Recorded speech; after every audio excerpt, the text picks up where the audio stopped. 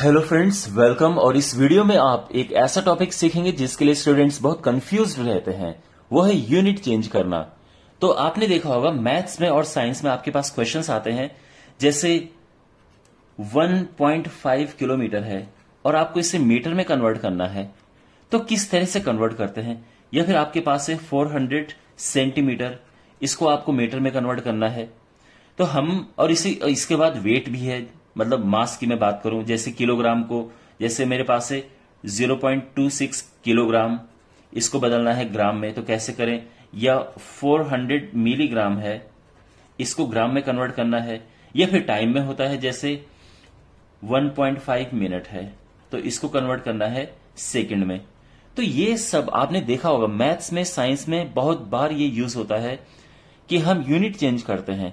Science में क्या होता है कि जब साइंस या मैथ्स में जब हम सबको सेम यूनिट में रख के सॉल्व करना होता है तो उस समय हमें चेंज करना पड़ता है।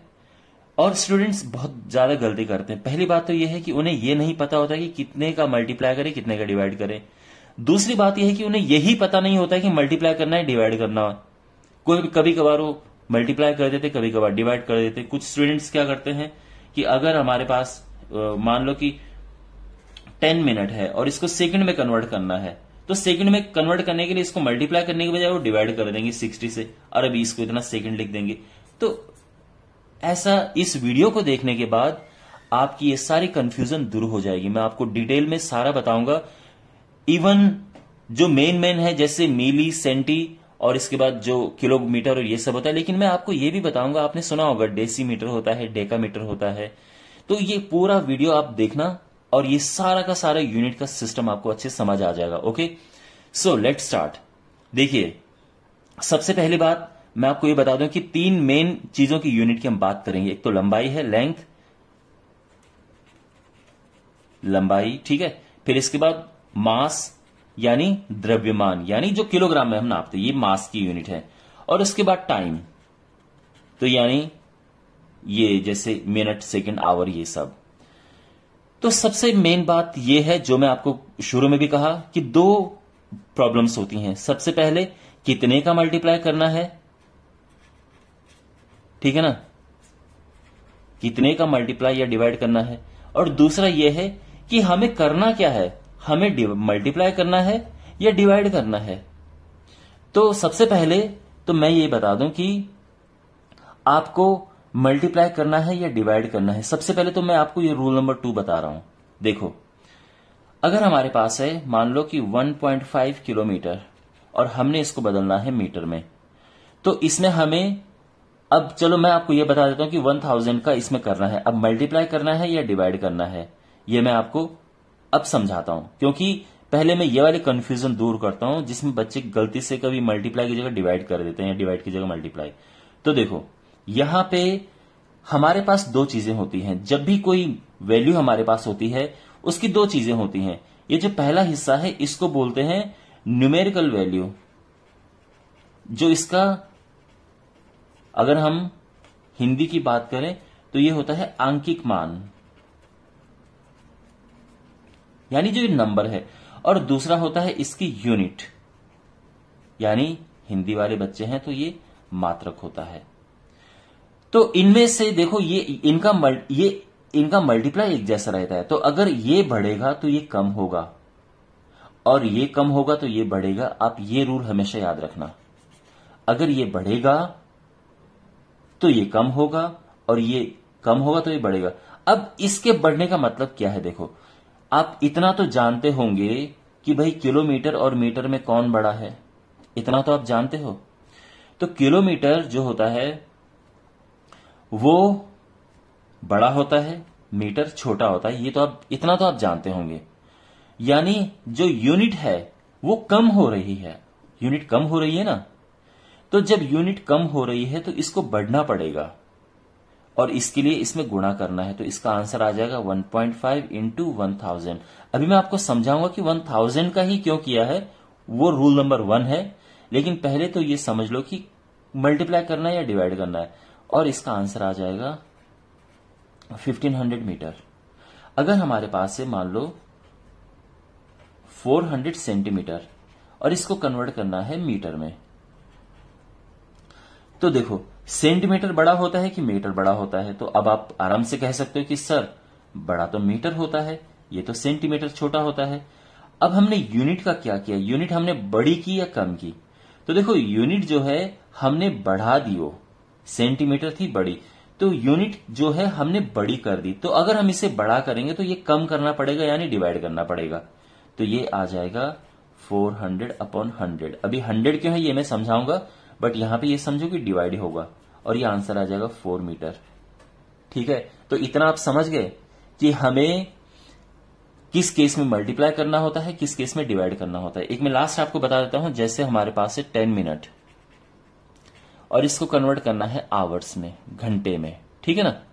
तो बताओ मिनट बड़ा होता है कि घंटा बड़ा होता है? आवर बड़ा होता है। तो आप कहोगे कि, सर आवर्स बड़े होते हैं मिनट छोटा होता है। यानी यूनिट के साथ मैंने क्या किया? यूनिट मैंने कम कर दी है। सॉरी यूनिट की वैल्यू बढ़ा दी है। भाई मिनट छोटा होता है आवर बड़ा होता है तो यूनिट बढ़ा दी है। तो जो ये नंबर है, ये कम होना चाहिए, यानी डिवाइड होना चाहिए। तो ये डिवाइड होगा 60 से, ठीक है ना? एक घंटे में 60 मिनट होते हैं। तो 60 से डिवाइड होगा ये। ये मल्टीप्लाई नहीं होगा, ये डिवाइड होगा। और अगर यहीं पे ही अगर हमें 10 मिनट को कन्वर्ट करना है सेकंड में तो देखो, ये जो मिनट है और ये सेकंड है, कौन बड़ा है? तो आप कहोगे कि सर, मिनट बड़ा है, सेकंड छोटा है, यूनिट छोटी हो रही है। तो अगर यूनिट छोटी होगी तो ये नंबर को बड़ा होना पड़ेगा। ठीक है? और नंबर बड़ा होने के लिए आपको इसको 60 से मल्टीप्लाई करना है, क्योंकि एक मिनट में साठ सेकेंड होते हैं। तो ये आंसर आ जाएगा 600 सेकंड। अब आपको समझ आ गया है? इतना तो अब आपको समझ आ गया होगा कि हमें किस केस में मल्टीप्लाई करना है, किस केस में डिवाइड करना है। अब मैं आपको समझाऊँगा, और ये अब ज़्यादा इंपॉर्टेंट है आई मीन टू से काफ़ी डिटेल में है ये, कि कितने का मल्टीप्लाई करें। यहाँ पे क्यों हंड्रेड है? यहाँ पे क्यों थाउज़ेंड दिया? तो इसे अब देखो आप। तो देखो जो यूनिट हमारे पास लेंथ की होती हैं, लंबाई की यूनिट होती हैं, या मास की यूनिट होती हैं, उसमें हमारे पास सेम चीज़ें आती हैं लगभग। यानी अगर लंबाई में है किलोमीटर तो मास में होगा किलोग्राम। अगर यहाँ पे है मीटर तो यहाँ पे होगा ग्राम। अगर यहाँ पे है मिलीमीटर तो यहाँ पे आएगा मिलीग्राम। तो बेसिकली अगर आप एक सीख जाएँगे तो आपको दूसरा अपने आप ही समझ आ जाएगा। एम की जगह पे जी लगा देना, दूसरा अपने आप ही समझ आ जाएगा, ठीक है? तो फ़िलहाल फोकस करते हैं लेंथ पे ओके चलिए। अब मैं आपको एक ऑर्डर बताने जा रहा हूँ। बचपन में आपने ये देखा होगा, लेकिन मैं यहाँ पे आपको सिखाऊँगा उसका यूज़ कैसे करना है। देखो किलो किलोमीटर किलोमीटर मैं मीटर लगा रहा हूँ ग्राम के केस में यहाँ पे ग्राम लग जाएगा किलोग्राम। इससे कम होता है हेक्टो हेक्टोमीटर ओके? या हेक्टोग्राम। फिर होता है decametre then metre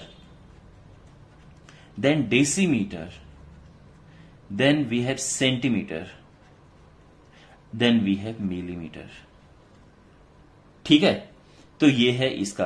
अब इनमें क्या है? कि जैसे जैसे आप ऊपर बढ़ते हैं वैसे वैसे वो दस गुना ज़्यादा बढ़ता जाता है। यानी अगर कोई लेंथ अगर मैं बात करूँ कि, कि एक किलोमीटर की लेंथ है और एक हेक्टोमीटर की लेंथ है तो किलोमीटर की लंबाई इससे दस गुना ज़्यादा होगी। यानी ये जो लंबाई हो दस गुना ज़्यादा बढ़ रही अगर आप टेन मिली को इकट्ठा करोगे तो सेंटी हो जाएगा। टेन सेंटी को इकट्ठा करोगे डेसी हो जाएगा। टेन डेसी को इकट्ठा करोगे मीटर हो जाएगा। टेन मीटर से ये बनेगा। तो ये टेन टेन टाइम्स ऊपर बढ़ रहा है। ठीक है? अब देखो, यहाँ से आपके पास कोई भी आ सकता है। तो अगर आपके पास है कि भाई अच्छा इसमें ज़्यादा इंपॉर्टेंट एक किलो वाला है, एक ये मीटर है और एक मिली है और कभी कभी सेंटीमीटर भी होता है। ये चार ज़्यादा, ये आपको बहुत कम देखने को मिलेंगे। पर चलो, कोई नहीं स्टडी सबकी कर लेते हैं। देखो, अगर मैं बात करूँ वन किलोमीटर की, अब एक किलोमीटर में अगर मैं कहूँ कितने मीटर होते हैं? तो उसके लिए आपको, देखो, अब यहाँ पे हम जा रहे हैं। अब मैंने आपको बताया था कि एक एक ज़ीरो का फ़र्क होता है, दस दस का फ़र्क होता है। तो आप यहाँ से नीचे जाओगे, यहाँ, एक ज़ीरो, दो ज़ीरो, तीन ज़ीरो। तीन ज़ीरो यानी एक हज़ार, वन थाउज़ेंड। अब वन थाउज़ेंड का प्रॉब्लम है कि वन थाउज़ेंड का मल्टीप्लाई करें या डिवाइड करें। तो देखो, ये किलोमीटर है और ये मीटर है। यूनिट जो है, वो हो रही है कम। तो यूनिट अगर कम हो रही है तो ये बढ़ना चाहिए। तो ये वन में वन थाउज़ेंड का मल्टीप्लाई होगा वन थाउज़ेंड मीटर आ जाएगा।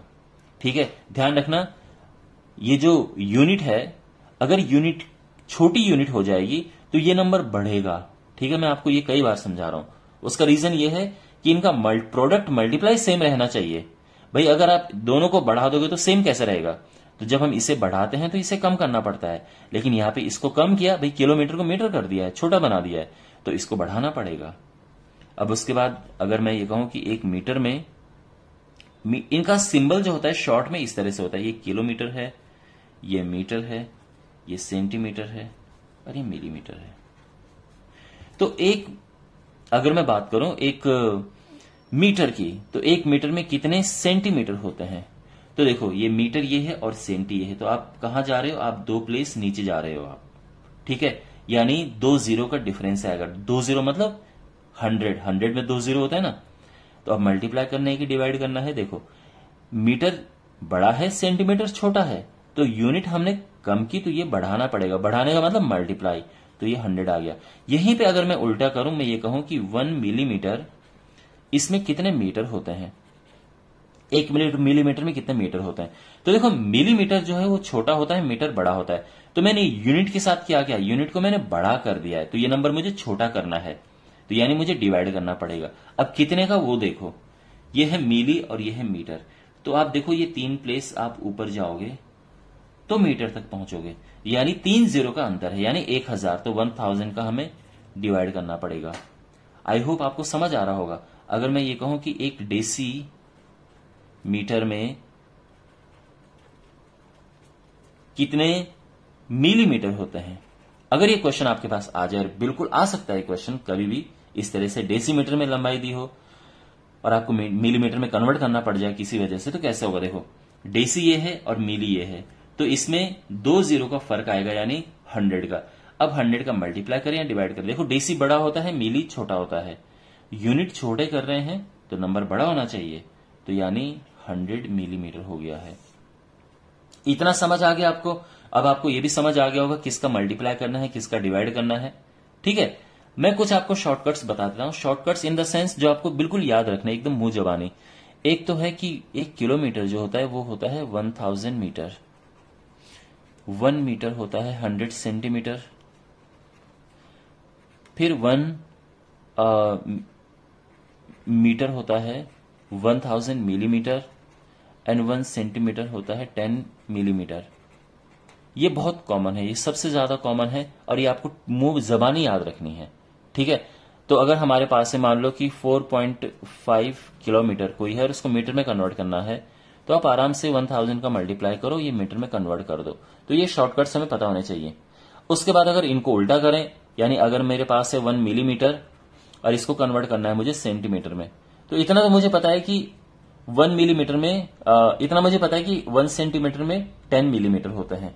अब देखो, अगर आप यहाँ पे इस अवस्था में आप कंफ्यूज हो जाए कि यार मल्टीप्लाई करें या डिवाइड करें तो देखो यूनिट जो है मिलीमीटर से सेंटी बन रही है, यानी बड़ी बन रही है। तो ये छोटा करना पड़ेगा तो वन डिवाइड करना पड़ेगा, वन अपॉइंट टेन हो जाएगा। तो अगर मैं कहूँ वन मिलीमीटर में कितने मीटर होते हैं, या वन की जगह कुछ नंबर ले लेते हैं, ठीक है ना?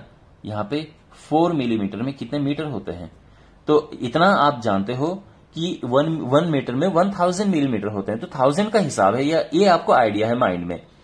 अब डिवाइड करना है मल्टीप्लाई कर, करना है तो देखो यूनिट जो है यहाँ पे बड़ी हुई है भाई मिलीमीटर से मीटर बना है तो ये छोटा होना चाहिए यानी ये डिवाइड होना चाहिए।